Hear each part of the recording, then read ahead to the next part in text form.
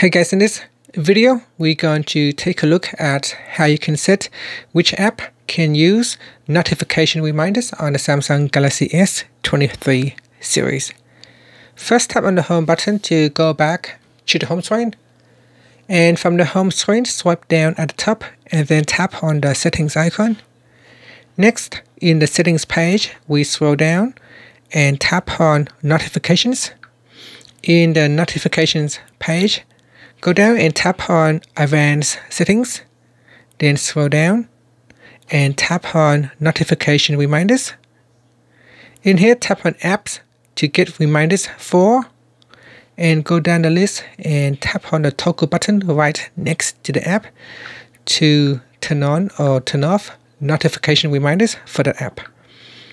So here, for example, if I uh, switch off uh, messages, then I will not get any notification reminders uh, for the Messages app. To get notification reminders for Messages app, you need to switch it on.